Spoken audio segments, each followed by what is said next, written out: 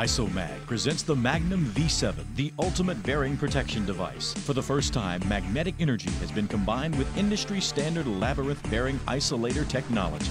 ISOMAG offers you a 100% positive flat face sealing chamber with proven close clearance labyrinth specifications. The new ISOMAG V6 and V7 models constantly prevent contaminants from entering bearing housings and gearboxes with or without shaft rotation. For the first time, the temperature in the ISOMAG sealing chamber is below the operating temperature of the bearings. Our bearing seals are used in thousands of centrifugal machinery applications vertical, horizontal, or angle splash, mist, or flooding.